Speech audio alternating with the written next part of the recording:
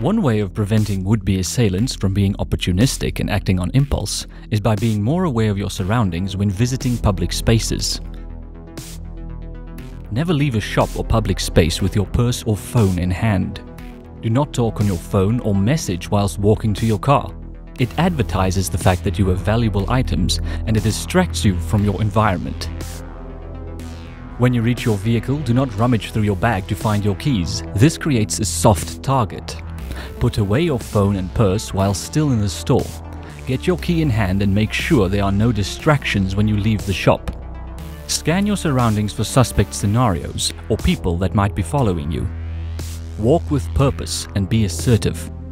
If you encounter a situation where you feel uncomfortable, go back to the store and talk to the security officer or call your security provider. There is a difference between living in fear and being aware. Make it a habit and share it with your friends.